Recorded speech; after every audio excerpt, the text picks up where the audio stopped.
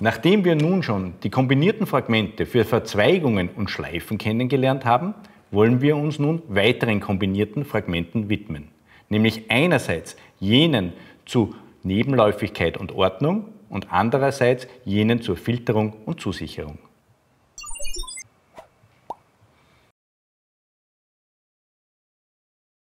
Bei den kombinierten Fragmenten zur Nebenläufigkeit und Ordnung wollen wir zuerst den Sequence-Operator SEC behandeln.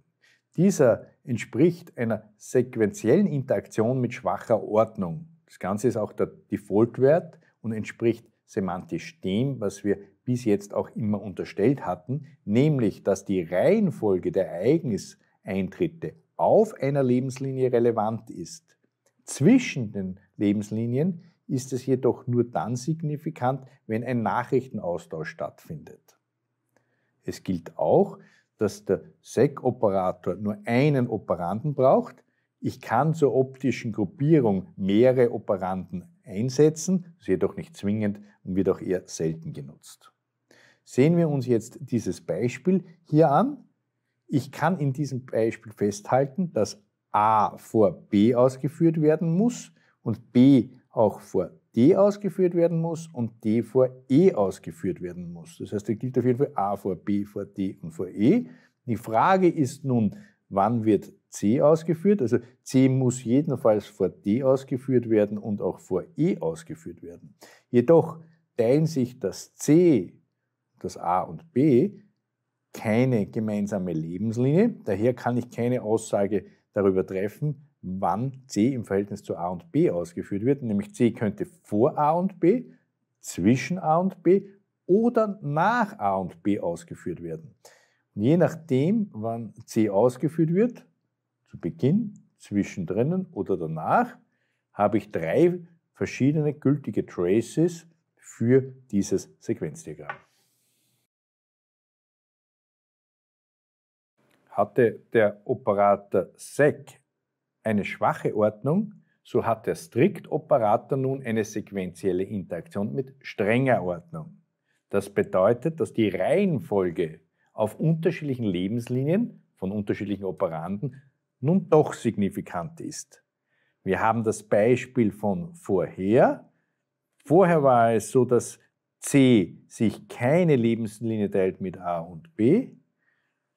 Und wenn ich hier jetzt strikt anwende, dann ist diese Reihenfolge doch relevant auf unterschiedlichen Lebenslinien. Das heißt, ich kann hier festhalten, dass C jedenfalls nach A und B kommen muss, dass die Reihenfolge A, B und erst viel später die E relevant ist, haben wir gegeben. Daher kann ich C nur nach A und B anordnen und der einzig gültige Trace wäre dann A, B, C, D und E.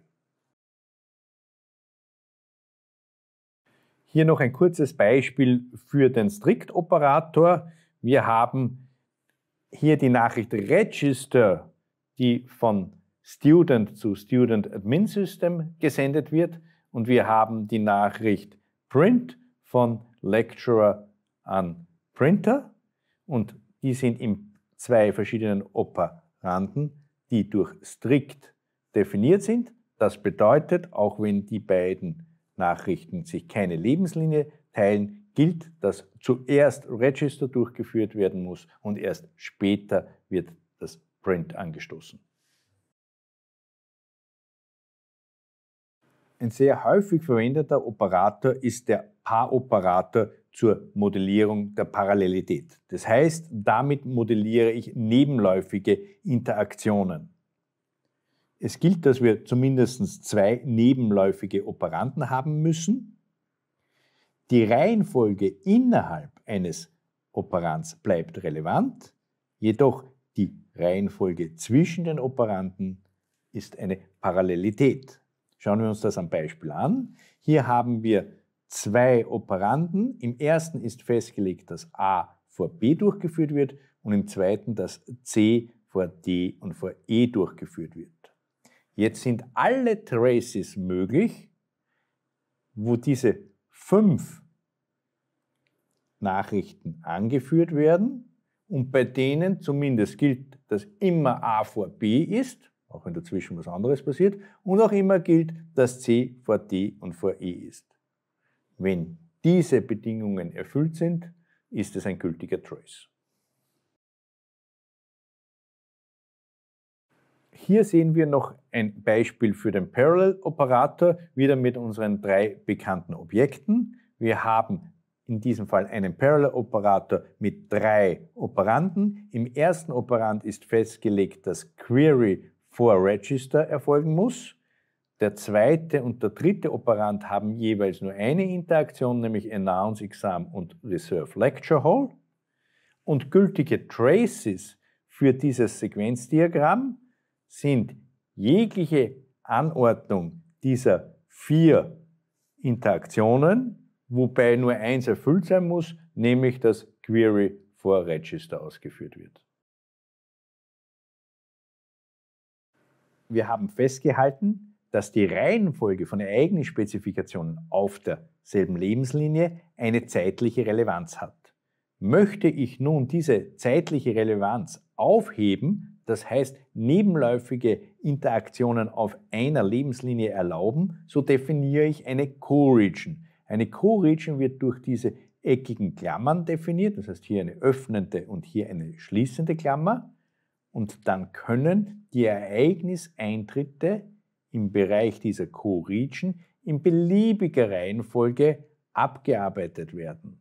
Das heißt, ich hebe die Zeitdimension auf. Und das gilt nicht nur für die direkt inkludierten Interaktionen, sondern auch für alle Interaktionen, die sich in eventuellen kombinierten Fragmenten auf dieser Lebenslinie innerhalb der Co-Region befinden. Die Co-Region wollen wir auch nochmal am folgenden Beispiel verdeutlichen. Wir haben hier ein ähnliches Beispiel wie zuvor beim Parallel-Operator. Das heißt, wir verwenden wieder dieselben vier Interaktionen. Nur verwenden wir nicht einen Parallel-Operator, sondern innerhalb dieses Beispiels haben wir eine Co-Region auf der Lebenslinie des Lecturers. Diese Co-Region führt dazu, dass die zeitliche Ordnung auf dieser Lebenslinie für diese drei Interaktionen aufgehoben wird. Das heißt, diese drei Interaktionen können in beliebiger Reihenfolge erfolgen. Damit wird auch die Reihenfolge auf dieser Lebenslinie aufgehoben. Es gilt jedoch weiterhin, dass Query vor Register erfolgen muss. Denn Register ist nicht Teil dieser Co-Region, und die Ordnung auf dieser Lebenslinie gilt weiterhin. Somit ist das Ergebnis letztendlich das gleiche wie vorher beim Parallel-Operator. Diese vier Interaktionen können in beliebiger Reihenfolge ausgeführt werden, solange Query vor Register ausgeführt wird. Der Critical Operator dient dazu, einen atomaren, nicht unterbrechenbaren Interaktionsablauf zu definieren. Wir nehmen hier das Beispiel, das wir schon vom Paralleloperator kennen und fügen zusätzlich aber jetzt über die beiden Interaktionen C und D einen Critical Operator ein. Das bedeutet, C und D teilen sich hier eine Lebenslinie, das heißt, es wird C jedenfalls vor D ausgeführt und zusätzlich sei dieser Bereich atomar, nicht unterbrechenbar. Das heißt, zwischen C und D darf nichts ausgeführt werden oder in anderen Worten, D wird direkt nach C ausgeführt. Somit bleibt eine gültige Trace-Eigenschaft, dass C und D in der Reihenfolge nicht unterbrochen ausgeführt wird. E wird jedenfalls nach den beiden ausgeführt und A wird vor B ausgeführt.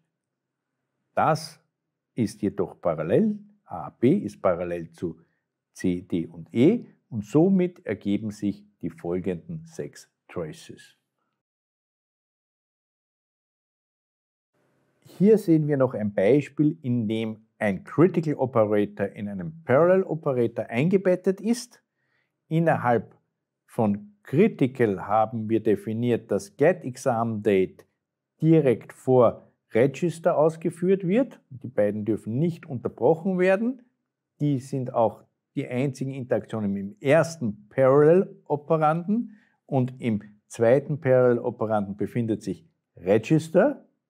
Das bedeutet, die werden parallel ausgeführt, das darf aber nicht unterbrochen werden. Das bedeutet, es gibt nur zwei Traces, nämlich entweder die beiden werden zuerst ausgeführt und als letztes Register oder Register als erstes und danach Get Exam und Register. Mit Hilfe des Ignore-Operators kann ich irrelevante Nachrichten, die damit optional werden, modellieren. Das heißt, diese irrelevanten Nachrichten haben keinen Einfluss auf die Funktionalität, die mit dem Sequenzdiagramm modelliert wird. Sehen wir uns das am Beispiel an. Wir haben hier ein kombiniertes Fragment. Der Operator ist ignore. Dieses kombinierte Fragment hat drei Interaktionen, nämlich Login, Status und Register. Und bei ignore werden in geschwungenen Klammern die irrelevanten Nachrichten angegeben. Und das ist die Nachricht Status. Dementsprechend ist die Ausführung dieser Interaktion optional und es würde reichen, wenn in einem Trace nur Login und Register vorkommen. Der Consider-Operator ist der inverse Operator zum Ignore. Das bedeutet, in einem Consider-Fragment gebe ich nach Consider jene Nachrichten an, die unbedingt ausgeführt werden müssen. Alle anderen Nachrichten werden als nicht relevant eingestuft und müssen nicht ausgeführt werden. Das heißt, wenn hier nach Consider Login und Register als relevant definiert werden, müssen diese beiden ausgeführt werden, Status jedoch nicht. Hier sehen wir Ignore und Consider noch einmal gegenübergestellt. Beide Sequenzdiagramme modellieren den äquivalenten Sachverhalt. Ich kann angeben entweder Ignore Status, dann werden nur Login und Register unbedingt ausgeführt, und Status ist optional, oder ich gebe eben an nach Consider Login und Register und damit lege ich ebenfalls fest, dass Status optional ist. Der Assert-Operator hat nur einen Operanden und dieser drückt aus, dass die Interaktion als verpflichtend gesehen wird. Alles, was ich damit erreiche, ist, dass ich weitergebe an die Implementierung, dass hier unbedingt getreu dieses Sequenzdiagramm implementiert werden muss. Keine Abweichungen erlaubt sind. Der letzte Operator, den wir berücksichtigen, ist der NEC-Operator. Er dient zur Beschreibung von ungültigen Interaktionsabläufen. Also wir beschreiben Situationen, wie sie eben nicht vorkommen sollten. Der Zweck ist, wenn ich typische Fehler kenne und dem Implementierer mitteilen möchte, wie eben etwas nicht oder keinesfalls ablaufen sollte. Er wird natürlich spärlich eingesetzt, weil wir ja normal das modellieren, wie etwas ablaufen sollte. Diesem Beispiel hätten wir hier diesen NEC-Operator und hier sollte kein Aufruf von Register erfolgen, beispielsweise in einer Situation, wo der, die Studierende noch gar nicht eingeloggt ist. Damit sind wir schon am Ende zu den kombinierten Fragmenten für Nebenläufigkeit und Ordnung sowie Filterung und Zusicherung. Das bedeutet aber auch gleichzeitig, dass wir am Ende der Einheiten zum Sequenzdiagramm angelangt sind. Wir sind also nun in der Lage, Nachrichtenfolgen in einem Sequenzdiagramm zu modellieren, um eine gewisse geforderte Funktionalität zu erreichen.